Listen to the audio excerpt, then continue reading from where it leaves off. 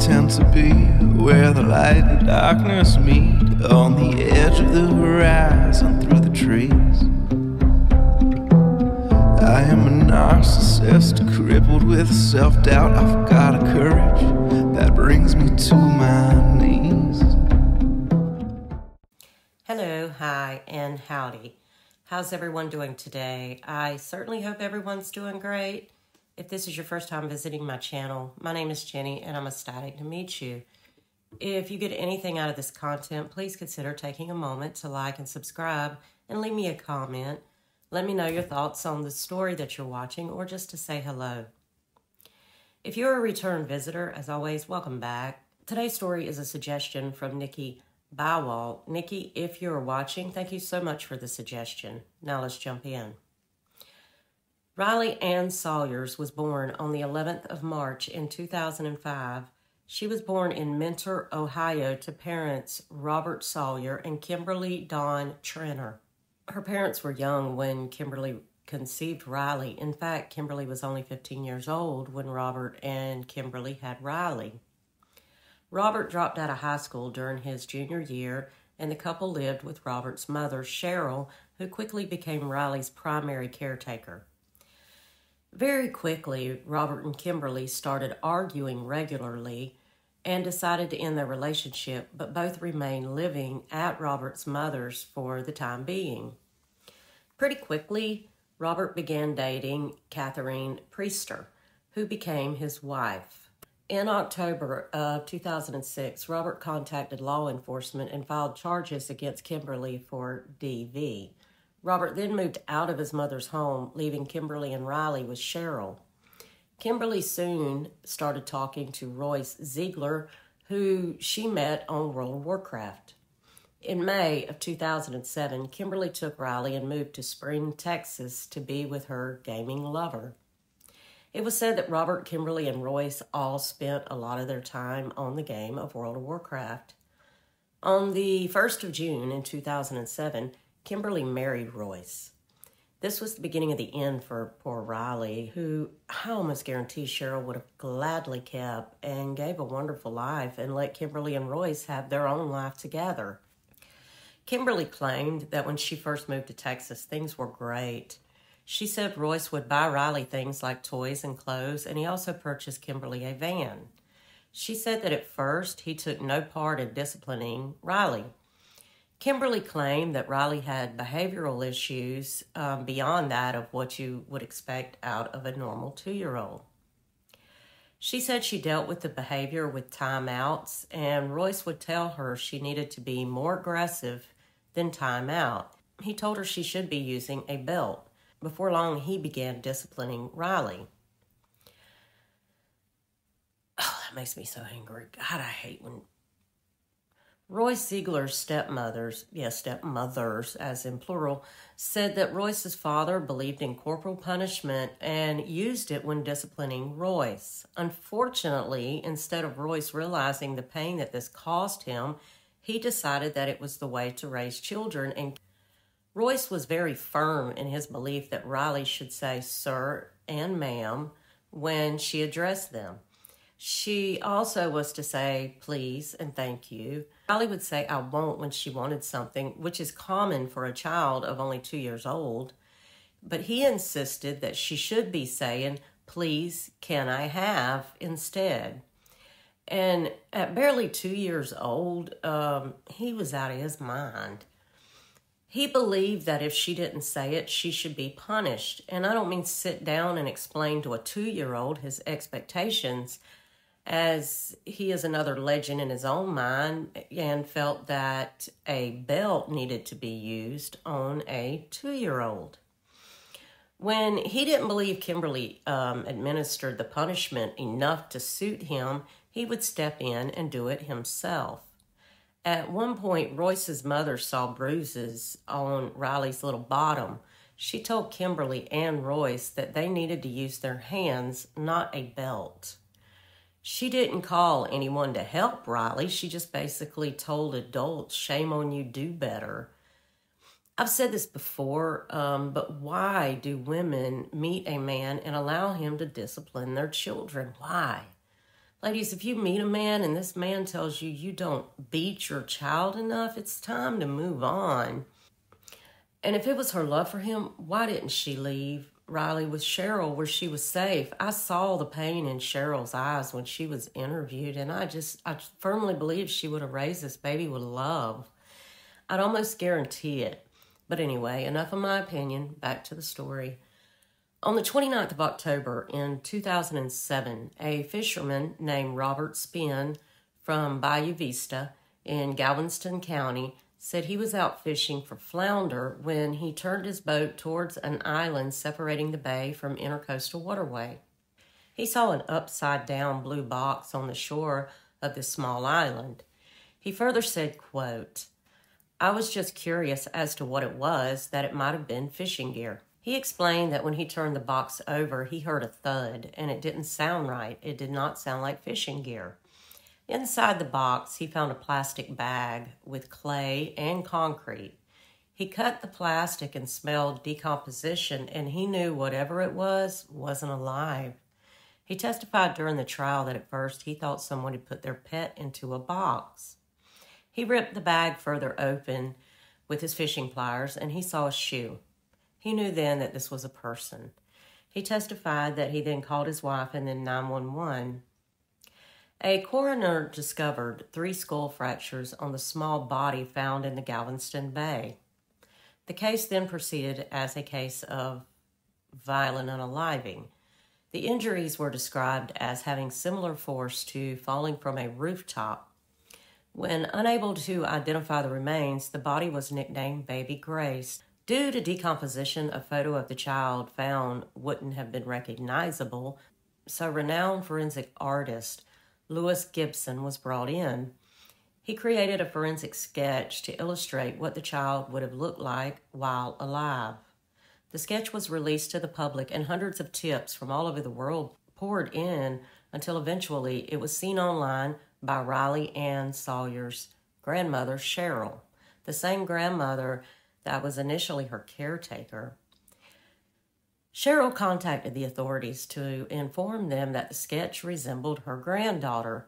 She told them that she and her son had been trying to find Riley since July when Kimberly showed up claiming she gave her to someone and even presented her with custody papers that appeared to be legitimate. The authorities felt, due to Sheryl's statements, this could be Riley. At the request of Galveston County Sheriff's Office, a Harrison County Sheriff's deputy, Deputy Jones, went to the home where Royce and Kimberly were living, supposedly with Riley, to do a welfare check. The deputy spoke to Royce and he told the deputy that there was a custody dispute with Riley's biological father, Robert, who lived in Ohio. He said that a representative from the Ohio Department of Child Services had come to their home, pushed Kimberly down, and taken Riley back to Ohio. You know, like that wouldn't be easy to confirm. Deputy Jones asked if Kimberly had any paperwork from Ohio CPS documenting that they took Riley, and Kimberly said that she did and would send it to the deputy. She sent the same paperwork that she had shown Sheryl, Riley's grandmother. At first, Deputy Jones believed Kimberly that the Ohio CPS had taken Riley until Kimberly became uncooperative and was hesitant to file a police report to report her daughter missing. It was determined that the documents were indeed fake and had been created by Kimberly, which should have been another charge. DNA testing was done on eight families with missing children resembling baby Grace. One of the DNA samples was submitted by Robert Sawyers, Riley Ann Sawyer's father. The 30th of November, DNA confirmed the child in the box, baby Grace, was indeed two year old Riley Ann Sawyers. The investigation into what happened to Riley began. A few days later, Royce Ziegler tried to unalive himself by taking too many blood pressure pills and his prescribed antidepressant medication. He left a note stating, quote, My wife is innocent of the sins that I have committed. On the 27th of November, Kimberly Dawn Trenor, at 19 years old, gave a chilling videotaped confession to the investigators at Galveston County Sheriff's Office. Okay, y'all, this is my content warning. Um, this is fixing to get hard to hear. So just know this before continuing to listen. The jury of five men and seven women were wiping away tears while listening to what this baby endured. Per Kimberly Dawn Trenor, Roy Ziegler took the day off work as he didn't think Kimberly was properly administering punishment to Riley with the belt. He felt she needed a day long disciplinary session that included beating with belts, plural, and holding Riley's head under the water and throwing her onto a hard tile floor. Kimberly said that Royce told her, quote, we have to break her that was my child, something would have got broke.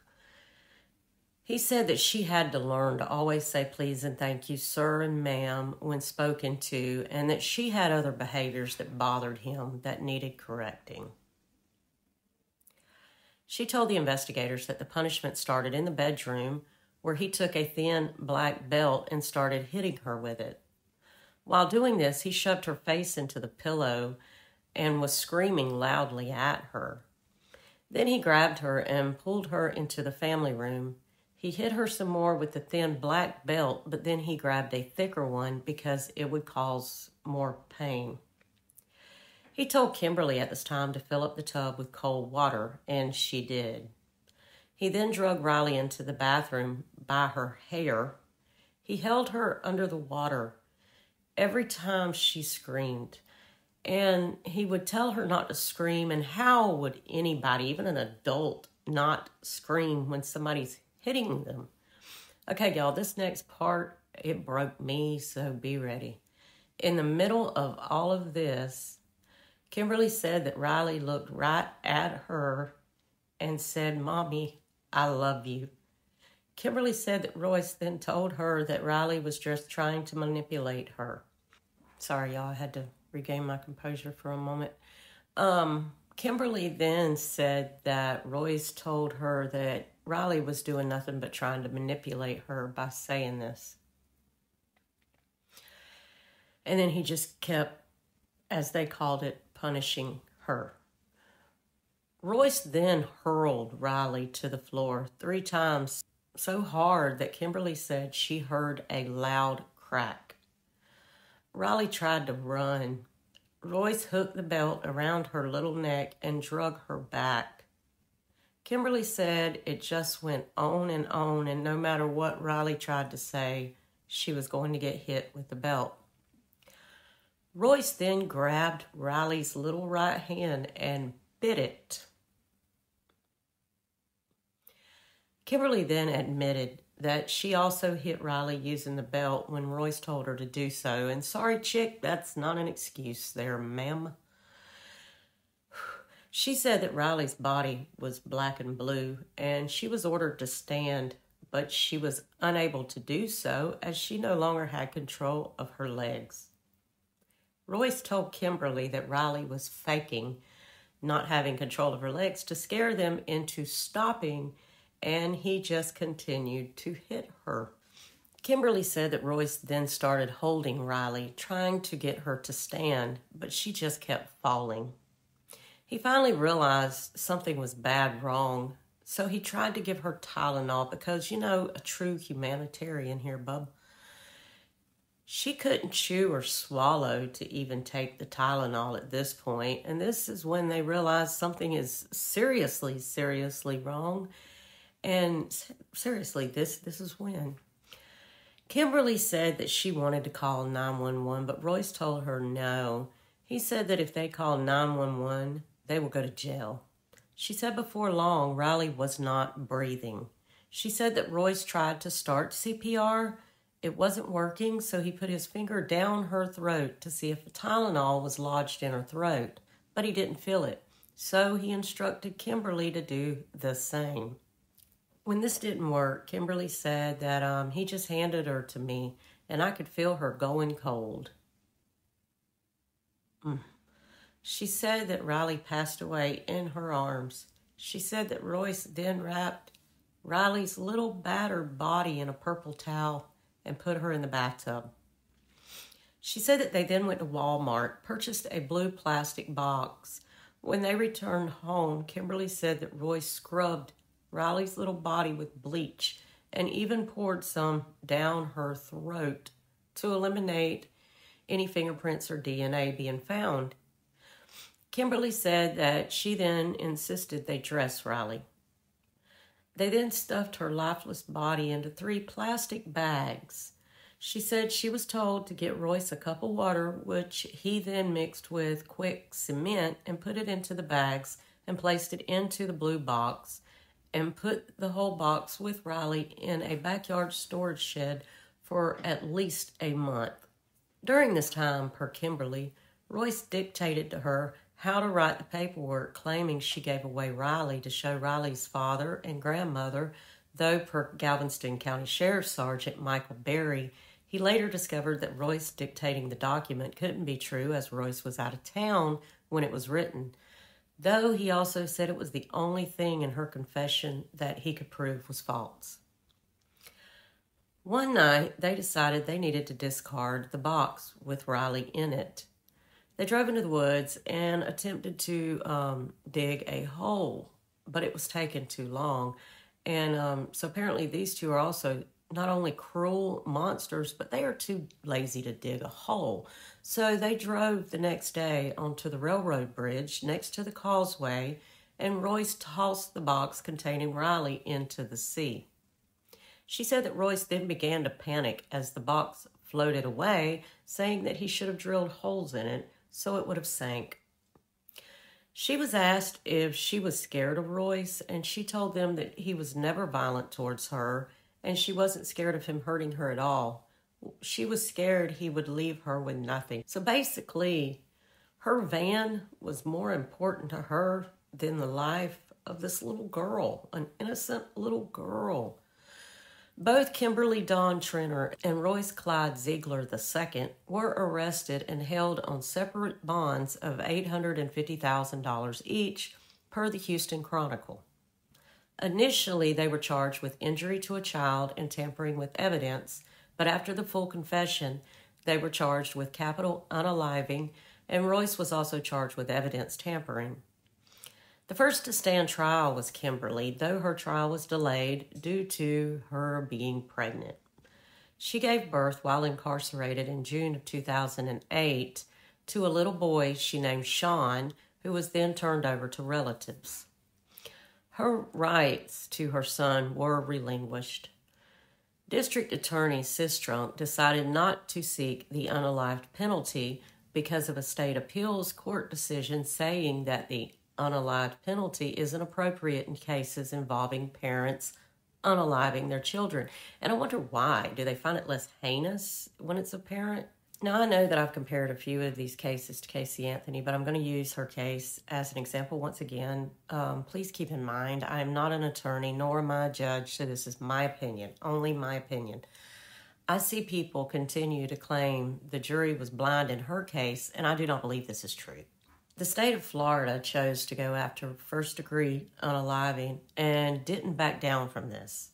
The problem was for the charge of first degree, the state must prove intent.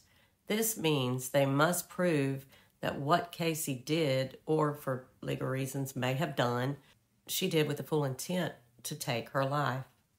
Due to decomp, they couldn't prove the method that was used in her unaliving. Without the method, it would be hard to prove her intent was to take Caylee's life, as the defense only had to offer possibilities that they offered to the jury, such as drowned in the pool or even the OD on anti-anxiety medication when that she was giving her to put her to sleep so she could go out and party. Anyways, the defense in this case made a point to tell the jury that neither Kimberly Trenor nor Royce Ziegler intended or foresaw that Riley would be unalived by the punishment. They were trying to prove to the jury that the intent wasn't there, so the jury couldn't find them guilty of capital unaliving. Both Kimberly Trenor and Royce Ziegler did eventually take responsibility for what happened to baby Riley Ann Sawyers. However, Kimberly Trenor was convicted of capital unaliving on the 2nd of February in 2009. It only took the jury 90 minutes to reach this verdict. She was sentenced to life without the possibility of parole. She is serving her time at the Mountain View Unit in Gatesville, Texas. Roy Ziegler was convicted of capital unaliving and evidence tampering on the 6th of November in 2009. He was also sentenced to life without the possibility of parole. The jury took four and a half hours to reach this verdict. He is serving his sentence in Wallace Pack Unit near Navasota, Texas. On the 14th of January in 2008, a Texas judge ruled that evidence collected during the autopsy would be sufficient for trial and turn custody of the cremated remains of Riley Ann Sawyers over to her family in Ohio. Sheryl Sawyer's employer held a fundraiser and raised the money to pay for a funeral for baby Riley. A ceremony took place, and Riley's remains were entered at the Mentor Municipal Cemetery. The Hitchcock City Commission in Texas, in a public meeting, announced they were getting ready to find out who owned the Neher Island in Galveston, where Robert Spinn discovered Riley's remains, and the owner spoke up from the audience. The island was owned by Kenny Stewart, a retired railroad conductor. He gave permission for the city to name the island Riley's Island.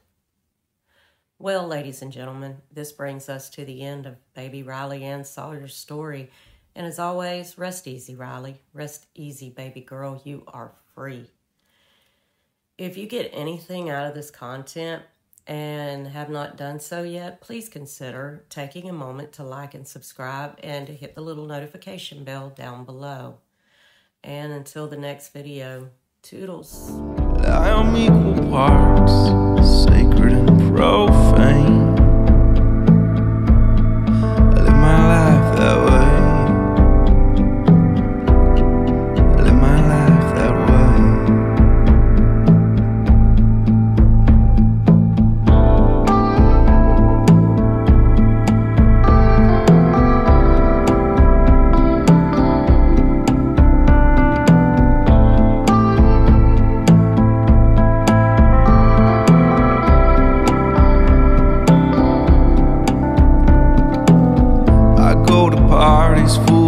Everyone I love so I can slip out the back door and be alone.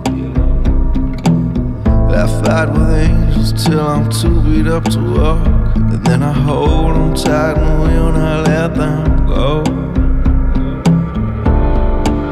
I am equal parts sacred and profane. I live my life